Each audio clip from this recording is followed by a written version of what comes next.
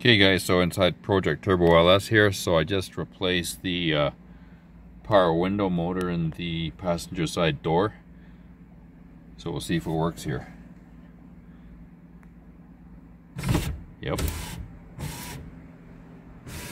Nice. Awesome, so now we got power windows. So that's good. So I got power windows and I also installed my uh, digital speedometer here. So it's uh, satellite uh, powered, so it works by satellite as you can see here. So that's the satellite receiver, so GPS, so you don't need to hook up a, a cable to your transmission, so that's awesome. So we'll see if it works when I take it out. So we've got a boost gauge right here. That's this guy right there. And of course we got our RPM gauge right there. So basically I needed these because the uh, the digital dash from Holley is back ordered like two years because of COVID.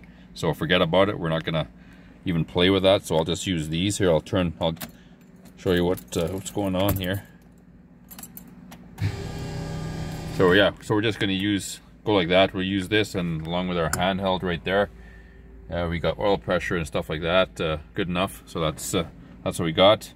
So we got everything we need to uh, monitor the vehicle, so that's great. So again, power window motors uh, fixed.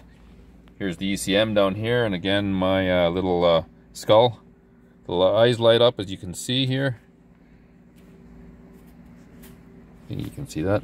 Yeah, there they are, right there. When you put the ignition off,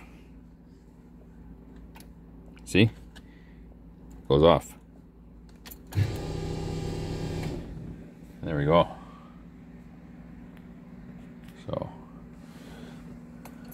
see if it starts.